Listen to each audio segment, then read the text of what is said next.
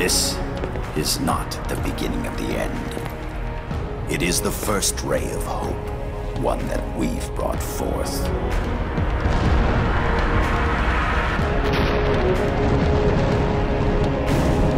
The counterattack took the Empire by surprise, and the battle seemed to favor the Dominion.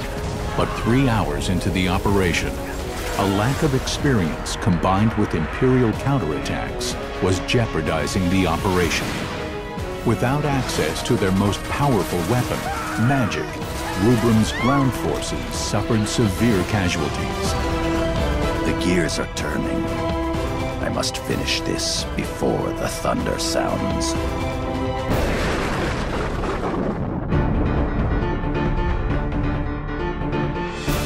Fearing an attack, the Kingdom of Concordia began defending the airspace over its territory and that of the Dominion of Rubrum.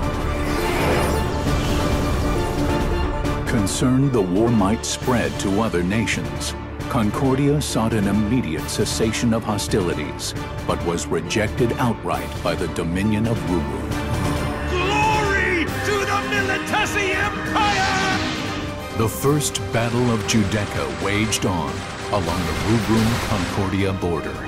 Rubrum forces maintained the advantage with valiant efforts from its cadet forces.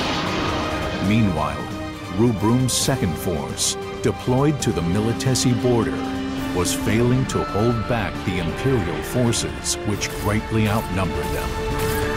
Our empire recently delivered a crippling blow to Rubrum. These are but the first steps to an even greater goal. We can no longer cling to the old order.